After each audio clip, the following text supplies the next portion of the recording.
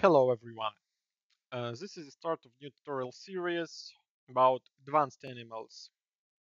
In this tutorial series we're gonna I'm planning to add a logic for taming animals, moving them to some somewhere where they will live.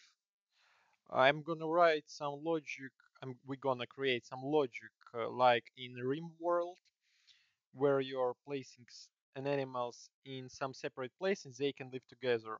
But uh, they should be separated uh, by whether they predators or not because for example if you will make a wolf live with uh, a dog then uh, i think that wolf will uh, eat a dog also we're gonna add some logic to make an animals to produce a child or children.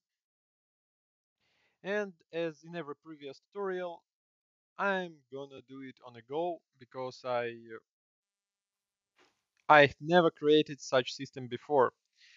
And uh, we may have some issues some bugs some things that we will uh, recreate again and again and it's not gonna be an easy tutorial because it is an advanced logic we're gonna have some complex blueprints some complex components and so on so Uh, before starting this tutorial, uh, be sure that you have watched previous tutorial about animals because I'm gonna use everything that we've created earlier.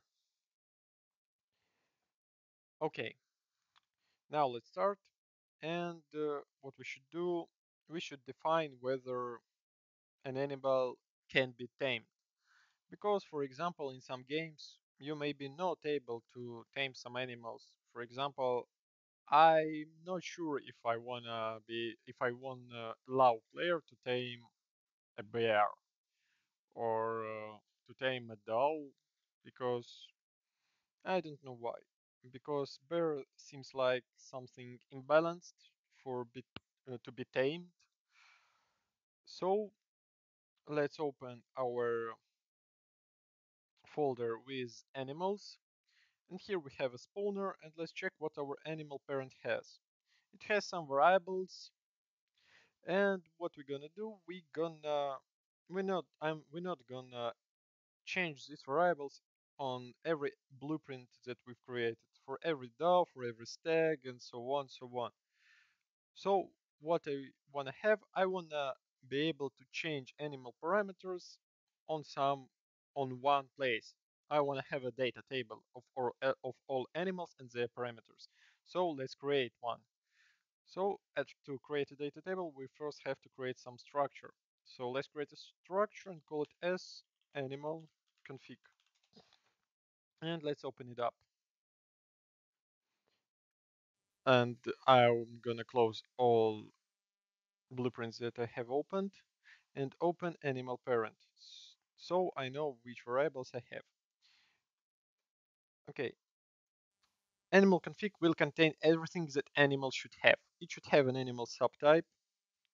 So first variable is gonna be animal subtype of type e animal subtype. Oops. Next, it's gonna have state mesh socket. State mesh so socket, and it's gonna be a name or string. It's gonna be a name. Next, we're gonna have some interruption montage. Oh, let's interruption montage, or and it's gonna be a montage. And in montage. And I'm not sure maybe we should have few anim montages. So let's create let's make it an array and not a single object. Just for future if for example we will have a few different montages we want to have for an interruption of a DAO we want a random one to be picked from this next we're gonna have an attack montages attack montages and it is also going to be an array. and current behavior. But current behavior is not a part of a configuration of each animal. It's something that's changeable every time. So it's not gonna be part of config. Also, our config should contain something like tame config. And we will not, it's gonna be a single object and we will not choose a type now because we don't have a type for taming config. Now let's uh, be able to work with animal parent using this animal config. So now let's create a data table. I forgot where it is, so I'll just type data table and here it is. Here we should select the structure as animal config and call it dt animals. Open it up and let's start. Now let's add a new row and call it deer. Okay, its subtype, no, not just deer, let's call it DAO. Its subtype is DAO, state mesh socket. To know it, we should open our BP DAO. I don't remember what is a socket. I will show inherited variables. It's state socket. Okay, state socket, interruption montages. Interruption montage is AM interrupted. It's only one, so click here, AM interrupted. It's routine work, but it will save us a lot of time in future. We don't have any attack montages for uh, our DAO. And tame config is none. Next, let's create a stag. Subtype is stag. State socket is the same as in DAO, if I remember correctly. And AM stag AM interrupted. I will pick up a DAOs and oh, why I picked it on a tame config. Uh, I'm gonna add one interruption montage. AM interrupted like this. It's a DAO montage, but it looks like uh, a DAO and the stag has uh, unequal bones. So this anim montage is working fine. Next, let's add a fox. Fox. Subtype is fox.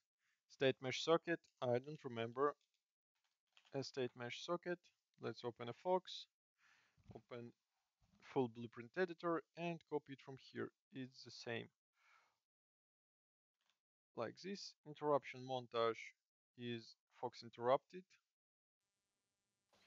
AM fox interrupted. And we have two attack montages, or no, we have three attack montages. So AM bite, AM attack, no, okay, attack montages, AM fox bite, AM underscore fox bite, then AM underscore fox bite, and then AM underscore fox jump bite. That's it. Now our data table is filled. So we can uh, hide inherited variables and delete this animal subtype, state mesh socket, interruption montage, attack montages. Let's delete them. Or maybe not. Let's, I don't want to change all, all the logic, so let's add it to a category legacy. Everything from here we're gonna add to category legacy, but not current behavior. And on construction script, we're gonna set up animal from some row from data table, but we need need to know which row. So uh, we have to we need to have a variable, and let's call it animal config, and it is gonna be a data table row handle. compile, save, and let's select the data table at first. It's gonna be ADT animals. That's it. But we should not define a row in animal parent because row will be different for every animal we have. Now, what we're gonna do in animal parent in construction script, we're gonna read this row. So we're gonna get an animal config, break it, get this data table and get row, get data table row with this row name. Next, we're gonna break as animal config. And here we will have a configuration for an animal. Also, this construction script will be called for all child. That's why we're writing it in animal parent. And we're gonna set up legacy variables. So we're gonna set animal subtype here. We're gonna set state mesh socket from here.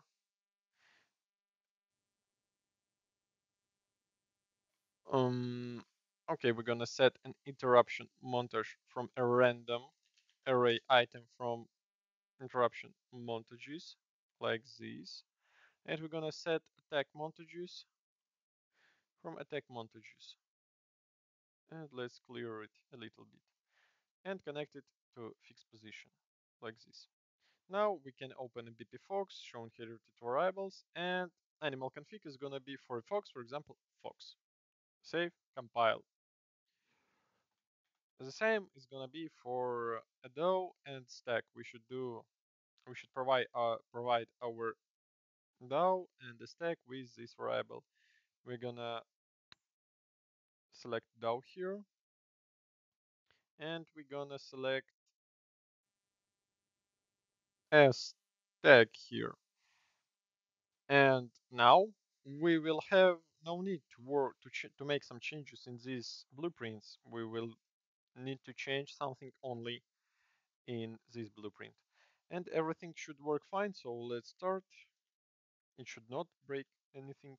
And uh, let's wait until at least first deer will spawn.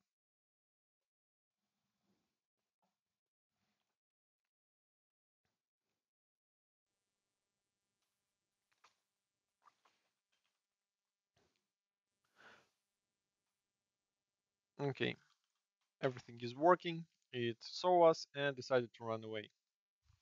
Now let's go back to a tame config. Let's open an AI and create a new folder called taming. So let's create a new structure and call it as tame config. Let's save everything just to be sure that we'll not lose it.